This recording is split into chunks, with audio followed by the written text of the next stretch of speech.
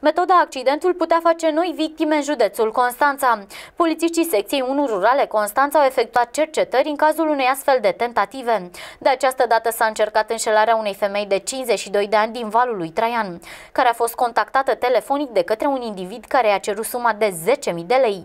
Accidentul s-a produs pe fondul unei depășiri neregulamentare. Șoferul unei mașini care circula spre Sebeș a intrat în depășire și în Alo? Mamă, eu sunt. Ajută-mă!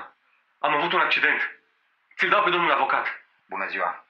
Sunt avocatul Popescu. Doamnă, e grav. Fiul dumneavoastră a lovit o fetiță pe trecerea de pietoni. Ascultați-mă cu atenție. Nu avem timp. Trebuie să veniți cu 10.000 de lei să închidem gura părinților. Altfel băiatul face pușcărie. Înțelegeți?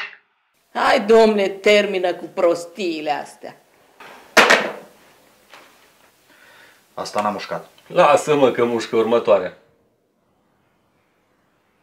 Poate chiar mama ta.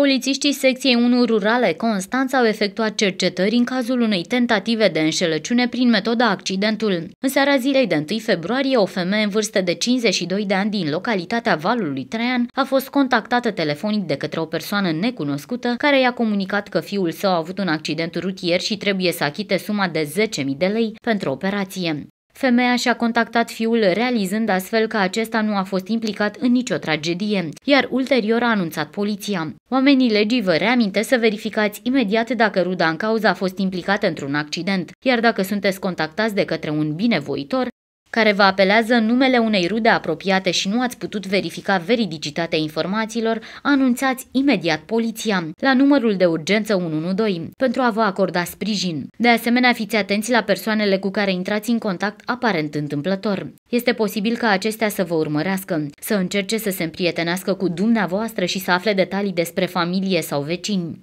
Nu primiți în locuință persoane care pretind că sunt de la diverse societăți comerciale de furnizare a unor servicii, firme de curierat, comis voiajori și așa mai departe, decât după ce ați verificat actul de identitate și legitimația de serviciu. Nu le furnizați acestora informații despre membrii familiei dumneavoastră sau despre vecini. Astfel, prin mijloacele de informare preventivă pentru a fi evitat orice eveniment neplăcut.